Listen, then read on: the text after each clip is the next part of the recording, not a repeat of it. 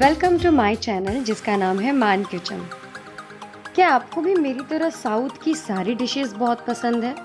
बस इसीलिए मैं आज लेकर के आई हूँ बहुत ही आसान और डिलीशियस मिक्स वेज उत्तपा की रेसिपी चलिए देखते हैं इसे कैसे बनाते हैं। तो सबसे पहले हम बैटर तैयार कर लेंगे। बैटर के लिए मैंने थ्री इस टू वन का रेशियो रखा है, यानी तीन कप चावल लेंगे। ये इडली वाला चावल है। और एक कप उड़द की दाल लेंगे, जिसमें आधा कप हम पोहा डालेंगे और एक चम्मच मेथी के दाने। दाल और चावल दोनों को अलग अलग भिगोना है। अब उन्हें अच्छे से वॉश कर कर ओवरनाइट या फिर आठ घंटों के लिए हमें सोक करना है। आठ से बारह घंटों के बाद आप देखेंगे कि चावल और दाल दोनों अच्छी तरीके से फुल चुके हैं। बस हमें इसे अच्छी तरीके से वॉश कर लेना है। मिनिमम दो से तीन बार आप इसे वॉश करें अच्छे तरीके से। ये देखिए, मैंने इसे धो लिया है। अब हम इसे मिक्सर के जार में डालकर थोड़ा थोड़ा पानी डालकर, इसका एक पतला सा बैटर तैयार करेंगे।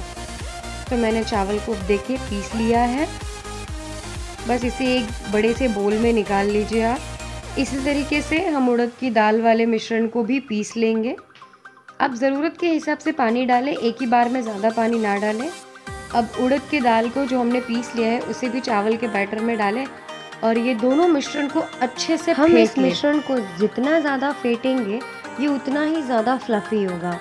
और अगर हमें इडली फ्लफ़ी चाहिए तो फर्मेंटेशन होना बहुत ज़रूरी है। सो so, ये जो मैं कर रही हूँ इससे बहुत हेल्प मिलेगी।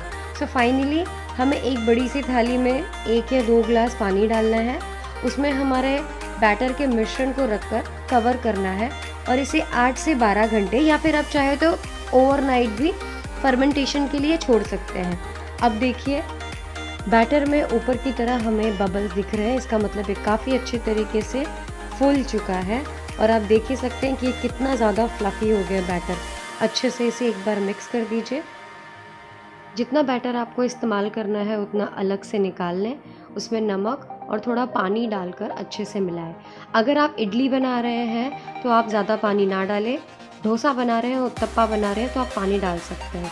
तो अब हमारा बैटर तैयार है। गरम तवे पे थोड़े पानी की बूंदें डालें, उसे पोछ लें और दो चम्मच भर कर बैटर डालें, उसे गुलाई में फैलाएँ।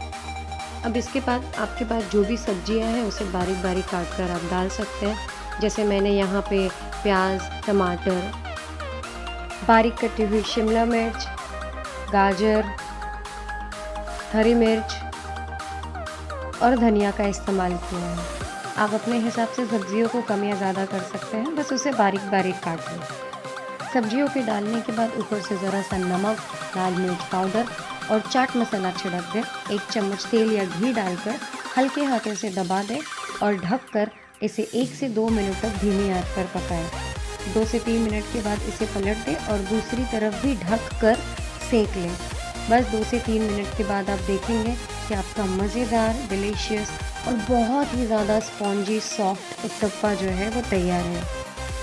ये देखिए जी, कितना सॉफ्ट बना है और कितना डिलीशियस दिख रहा है। बस फिर और क्या, खुद भी खाइए और दूसरों को भी खिलाइए, ये स्वादिष्ट उत्तप्पा। ऐसी वीडियोस के लिए मान किचन को सब्सक्राइब करना ना भूलें। Thank you